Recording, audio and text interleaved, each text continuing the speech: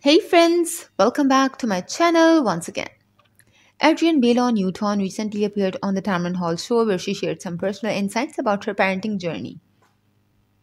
One of the topics she discussed was her decision to co sleep with her 17 month old son, Ever James, and how this led to the transformation of his bedroom into playroom in December 2023.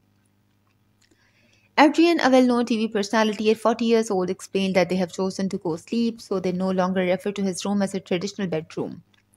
She mentioned that the bed in his room now serves as a sleeping spot for relatives' children when they visit and stay over. Adrienne and her husband, Israel Houghton, welcomed Ever James into their lives via surrogate in 2022, a journey they openly shared on social media. During the show, Adrienne shared the heartfelt moment when they finally welcomed Ever James into the world. She expressed gratitude for their journey to parenthood, which included challenges such as IVF and surrogacy. Her social media post at the time captured the overwhelming joy and gratitude they felt, emphasizing Ever James as the long awaited answer to their prayers. Tamron Hall, the show's post, praised Adrienne for her openness about her journey to motherhood and complimented the beauty of Ever James. Adrienne expressed her ongoing amazement at finally experiencing motherhood after years of hoping and praying.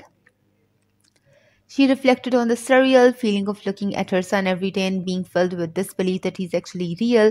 Adrienne also provided updates on Ever James's development, noting his increasing ability to communicate and the emergence of his unique personality. She emphasized that every moment with him is a reminder of the miracle they had prayed for. Adrienne Bailon Houghton, known for her roles in The Real and Cheetah Girls, married Israel Houghton, a contemporary Christian music singer, songwriter, and producer in December 2019.